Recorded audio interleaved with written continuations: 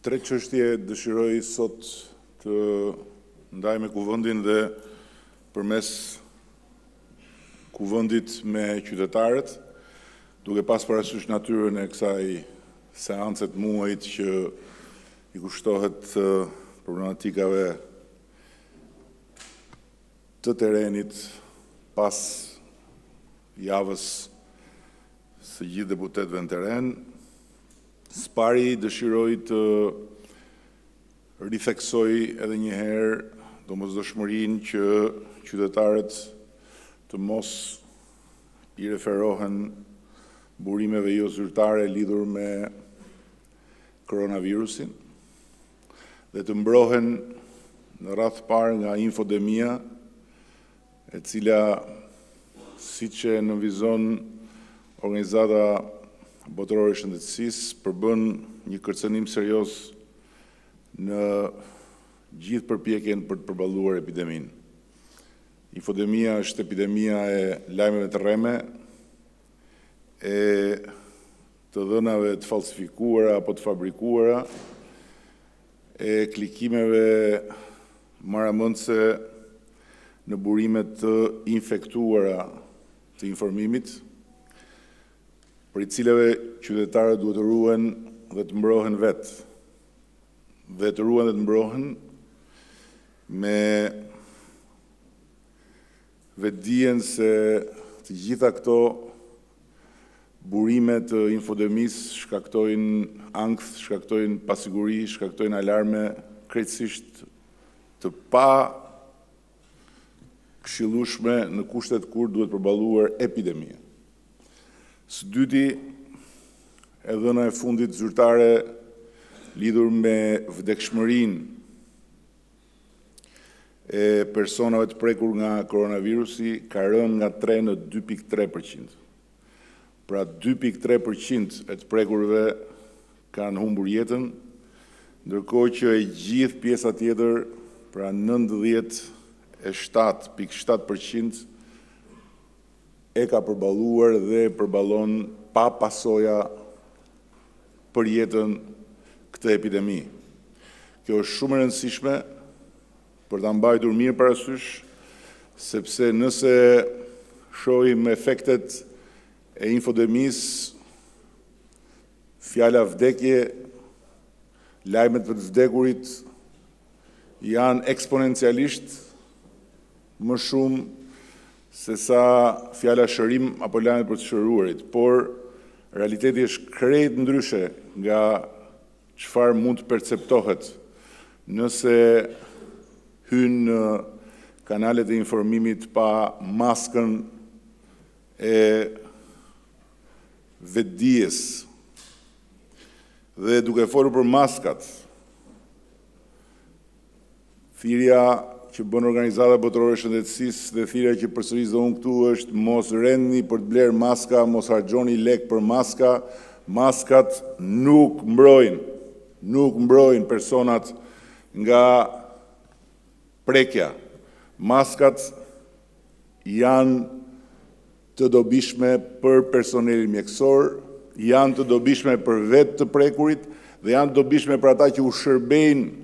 personave të prekur.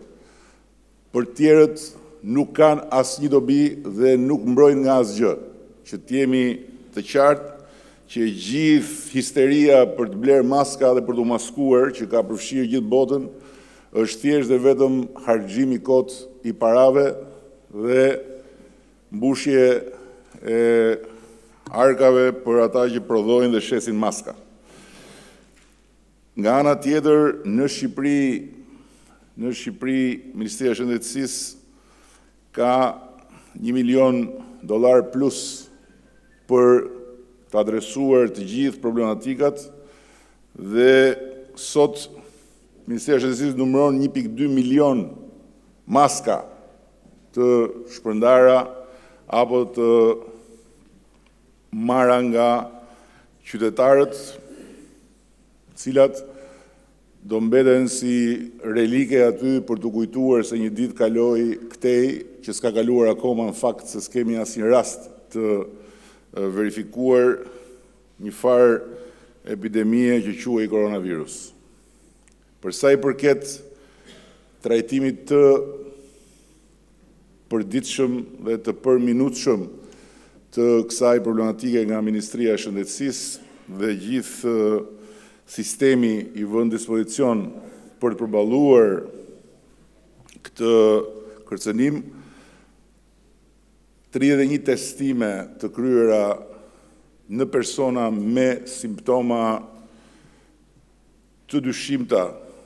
dhe të ngjashme me ato të koronavirusit kanë rezultuar negative, pra asnjë i prekur deri tani, ndërkohë që në numrin njëqind e njëzet e shtatë urgjenca kombëtare kanë dispozicion mjekë dhe infermierë, jo centralistë, mjekë dhe infermierë që përgjigjen, trajton një mijë e katërqind thirrje në ditë, kryen verifikime për të gjitha ato raste kur shpjegimet e telefonuesve shkaktojnë dyshim dhe nga katërqind verifikime të kryera asnjë rast nuk rezulton i prekur nga koronavirusi. Gjashtëmbëdhjetë mijë kontrolle janë kryer në pikat kufitare, Vazhdon të jetë i gjithë sistemi i angazhuar në funksion të parandalimit të përhapjes duke pasur gatishmërinë për të bërë identifikimin e rastit të parë që ende nuk është shfaqur dhe është shumë e rëndësishme ta mbyll këtë Çështje të parë, duke përsëritur për gjithë qytetarët mos u alarmoni nga infodemia, qëndrojuni larg lajmeve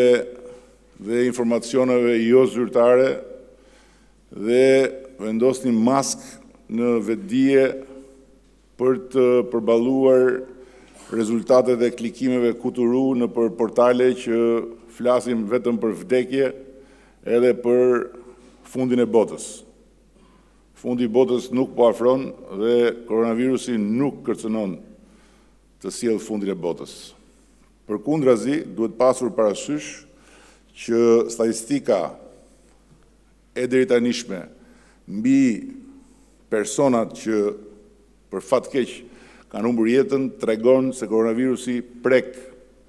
më të moshuarit fare në mënyrë shumë kërcënuese për jetën, prek të sëmurët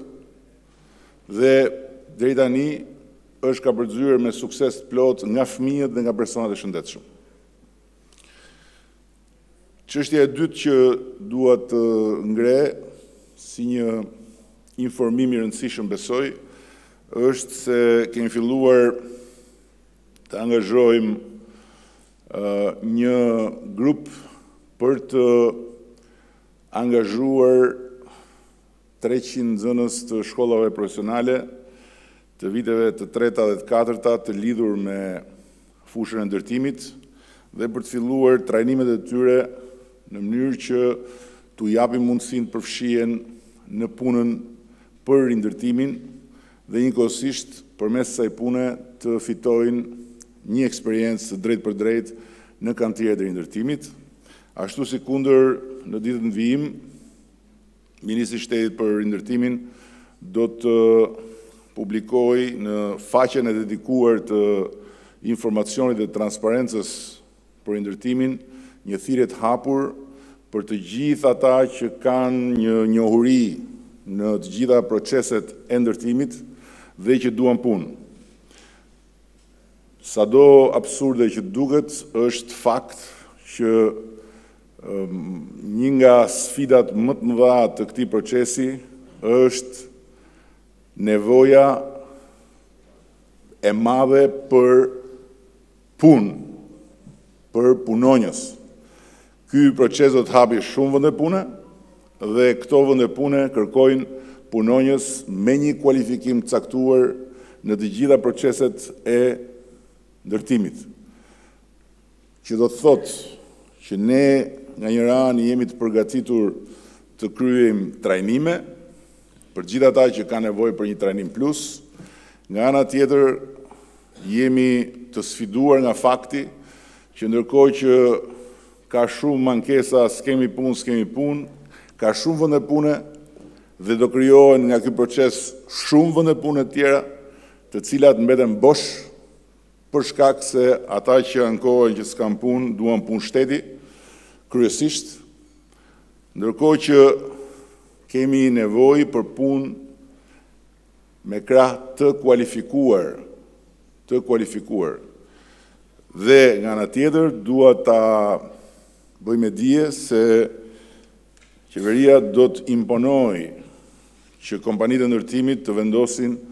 një pagë Për të gjithë ata që do përfshihen në procesin e rindërtimit të barabartë me pagën mesatare që paguhet në Shqipëri, e cila është katërqind e njëzet euro. Do të negociojmë me kompanitë dhe do të pranojmë të ulemi vetëm në ato raste kur do të jetë e arsyetuar ulja dhe asnjëherë nuk do pranojmë që kompanitë të paguajnë për punëtorët pagën e sotme minimale apo diçka mbi pagën minimale. Paga për të gjithë ata që do të përfshihen në procesin e rindërtimit do të jetë e imponuar nga qeveria mbi kompanitë dhe do të jetë rreth pagës mesatare që është sot në Republikën e Shqipërisë. Natyrisht, me të gjitha sigurimet e nevojshme. Por, falë ligjit që kemi kaluar në këtë parlament, ne do të hapim kufijtë edhe për punonjësit e huaj, pra kufijtë kanë qenë të hapur, por kanë pasur procedura të tmerrshme burokratike, ndërkohë që tani do t'u japim mundësi kompanive që të rekrutojnë punonjës të huaj për të ardhur për të punuar në Shqipëri, në rast se kjo nuk do të mund të jetë do të jetë e nevojshme si pasojë e vendeve të punës që nuk plotësohen me punonjës vendas. Kjo është një sfidë e madhe e të gjithë rajonit, kjo është një sfidë e madhe e gjithë Europës lindore, po themi. Dhe në këtë sfidë ne kemi mundësinë që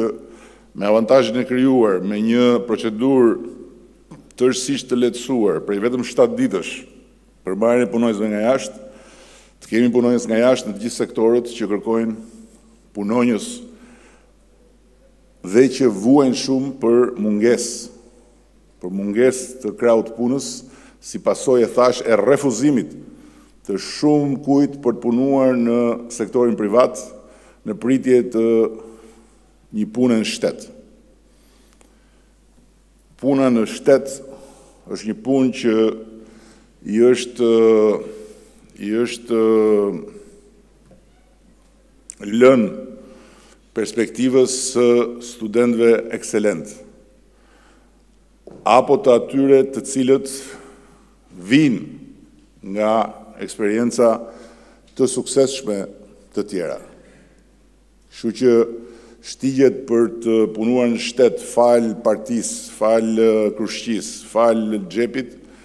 do të shkojnë duke u ngushtuar deri në mbyllje të plotë dhe siç e kemi parë pas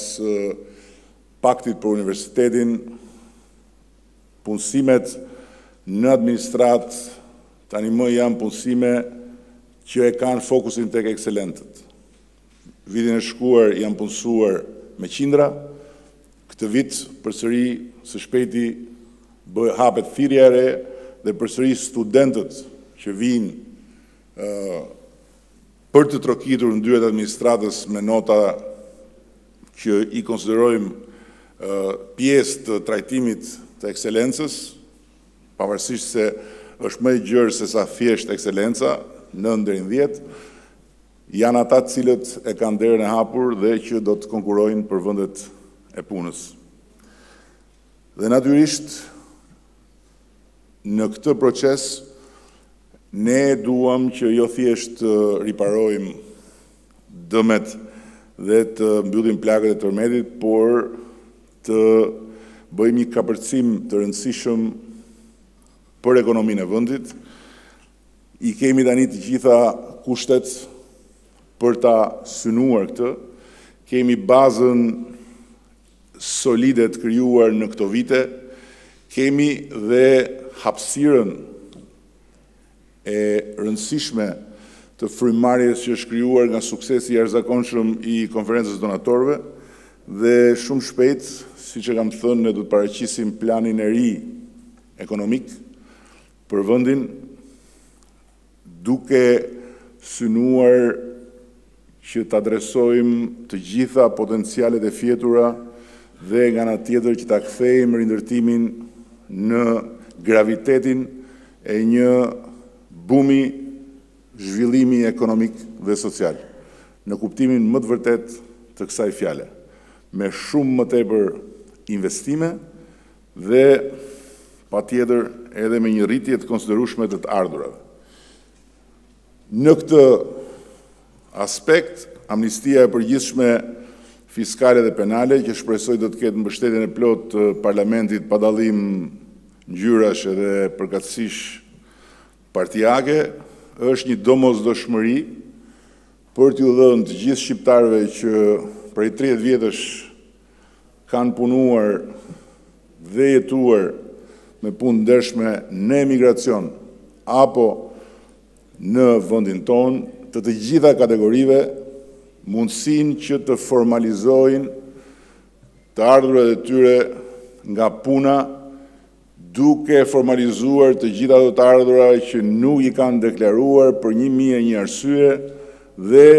duke i futur paratë e tyre në bankat e vendit. Ashtu sikundër edhe formalizimin e të gjitha aseteve të tyre. Dimë shumë mirë që në këtë vend ka shumë asete të paformalizuara ose asete që nuk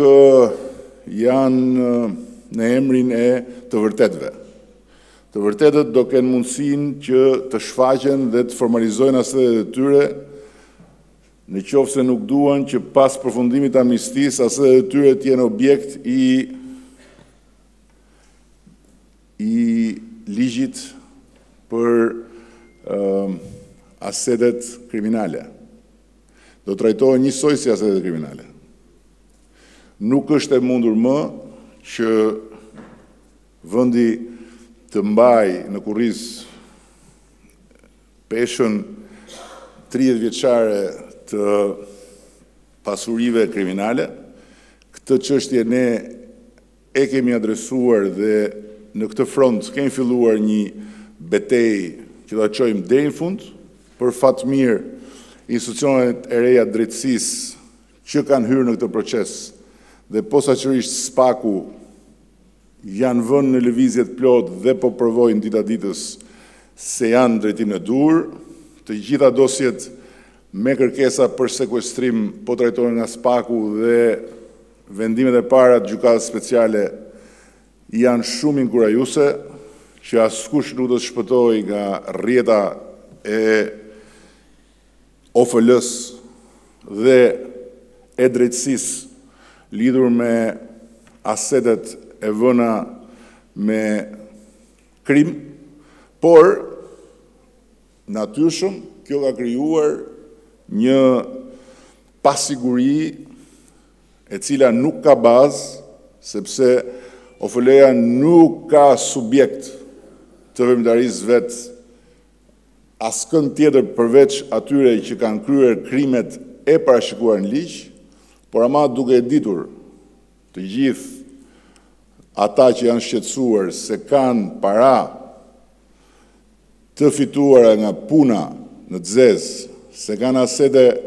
të padeklaruara, janë vënë në një lloj pasigurie. Për të adresuar këtë pasiguri dhe për të njohur të drejtën e formalizimit të të gjitha atyre që vijnë nga djersa e punës ndershme, të të gjithë emigrantëve shqiptarë që kur kanë shkuar dhe kanë kaluar për herë të parë kufirin e botës, Nuk i ka pritur njeri me krahë hapur, por kanë bërë gjithë farë punësh dhe kanë kursyer për të mbajtur veten dhe familjet e tyre. Këto janë kursime të ndershme për cilat ne do të hapim rrugën e futjes nëpër banka, duke përjasht, duke i përjashtuar nga çdo lloj kontrolli i çdo lloj natyre të regjimit të jetës përditshme siç siç ka ndodhur dhe siç do ndodh mbas amnistisë. Sigurisht që nga amnistia e përgjithshme fiskale do të përjashtohen kategorikisht të gjithë ata që i kanë të ardhurat e tyre nga krimi dhe sigurisht që amnistia e përgjithshme do të jetë fiskale dhe penale. Dhe do të votohet këtu me tetëdhjetë e katër vota që nuk do ketë shans që të vijë njeri dhe ta kthejë mbrapsht për arsye politike, por, por, të gjithë ata që paratë e tyre i kanë nga krimi, janë të paamnistushëm.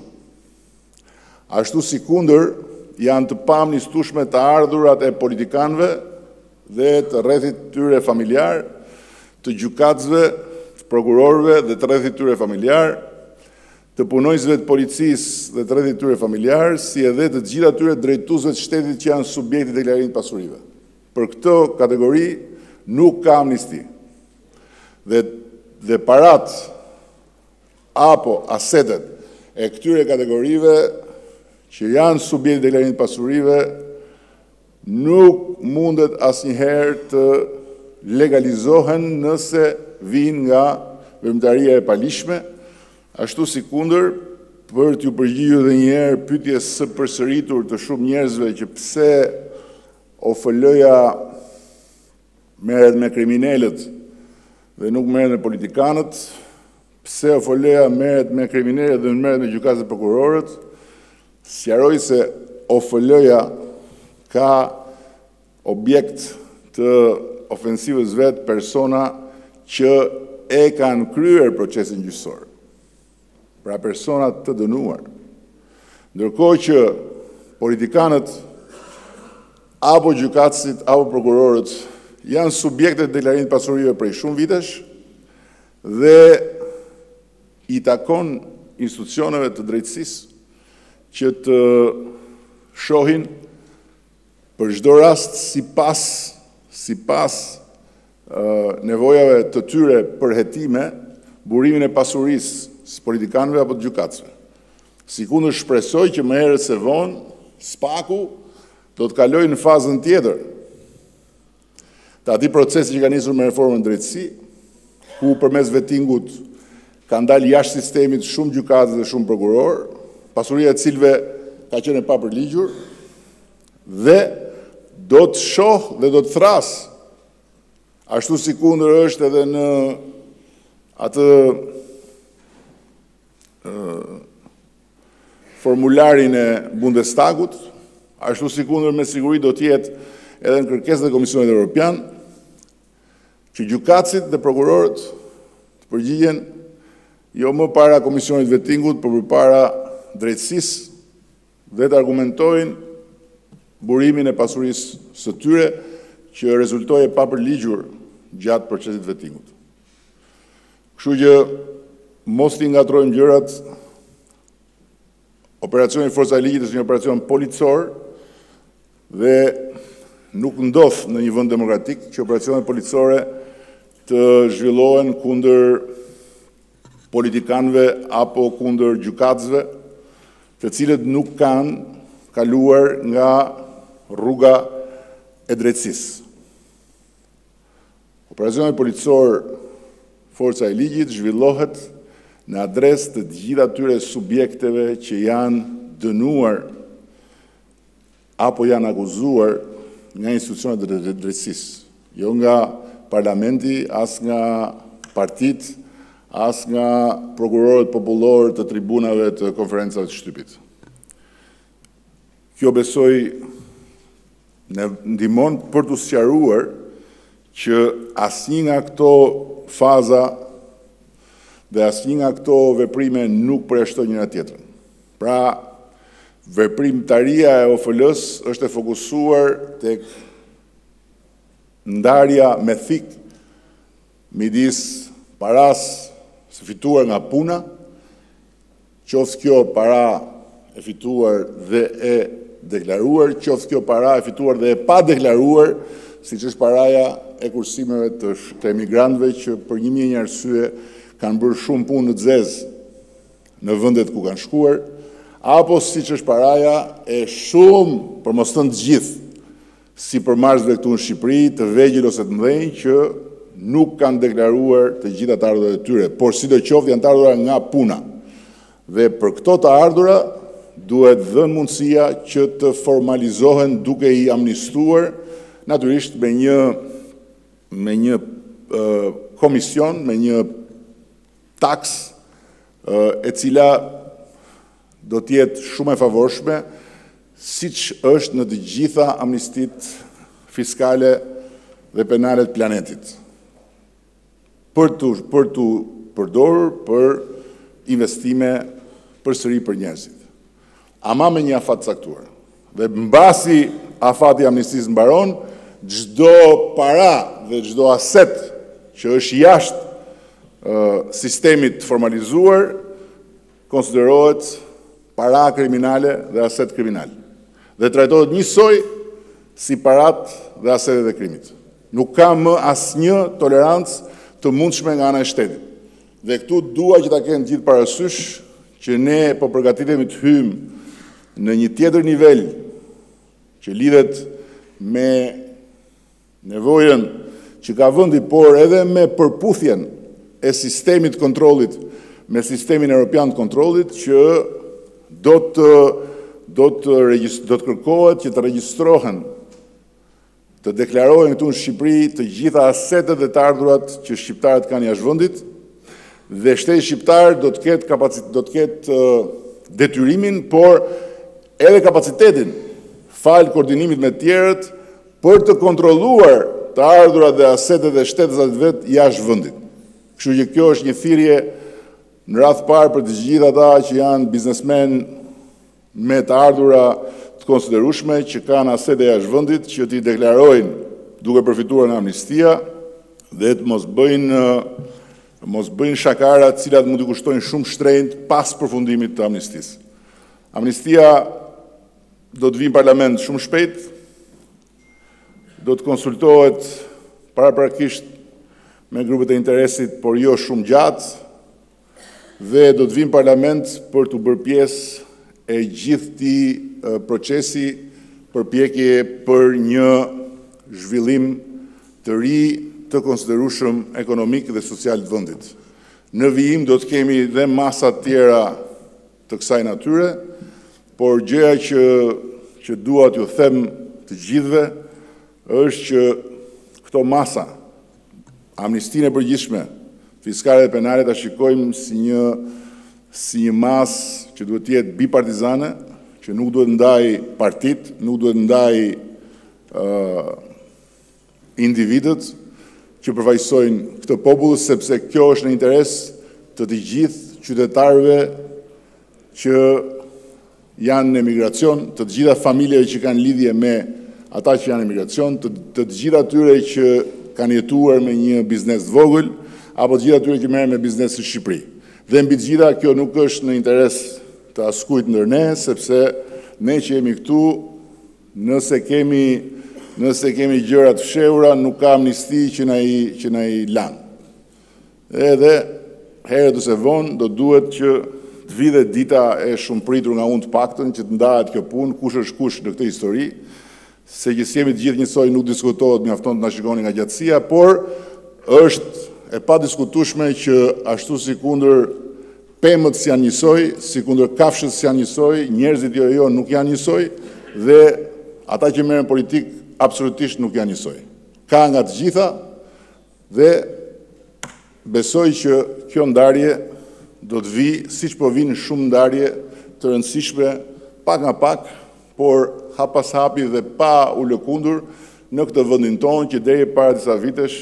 dukej sikur s'kishte shans të dilte nga kthetrat e atyre që e mbajtën peng për shumë e shumë vite dhe s'kishte shans t'i shpëtonte oligarkisë më të madhe financiare që ishte oligarkia e gjykatësve dhe e prokurorëve. Tani po e shikojnë të gjithë që ajo oligarki po shkërmoqet, por është e sigurt që nuk kanë parë gjë akoma. Faleminderit.